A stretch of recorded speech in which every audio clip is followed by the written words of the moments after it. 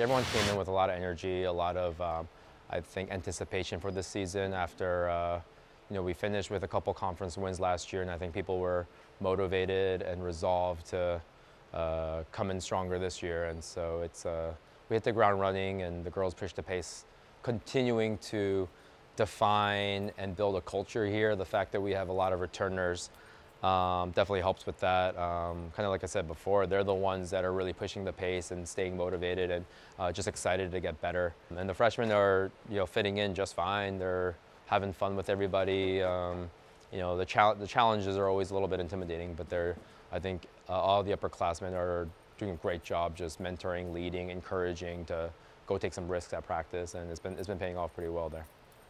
It's been really fun so far. Definitely tiring, but we're definitely really excited for a new year. Um, we've done some stuff team bonding wise. We're really excited to integrate the new freshmen. Um, yeah, get it going again. We're excited after a better finish last year than the year before. It's definitely bittersweet. I can't believe I'm already here. Like it's gone so fast, but it's been an awesome experience and definitely want to make it our best year since I've been here at least. And last year was the best year since I've been at um, Brown, so definitely trying to move up from that and keep that upward trajectory. Be awesome and finish off senior year strong. Definitely trying to be a role model for the younger ones. I think it's a big thing as I've always seen the senior, the captain as like the role model, the example, the person to kind of look to. So I definitely want to give that to my team in the same way um, and really push for that, bring 100% to every practice and really kind of be that role model that people can strive to be.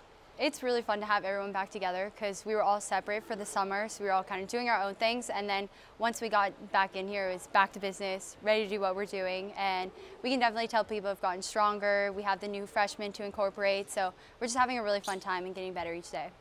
Yeah, I'm really happy to be back for a second season because I just have like a new look to it, calmer. I know what's coming. I know what the season's like, and I can help the freshmen because I was in their shoes last year. So it's nice to like have a first look at it and now be prepared for what's going to come.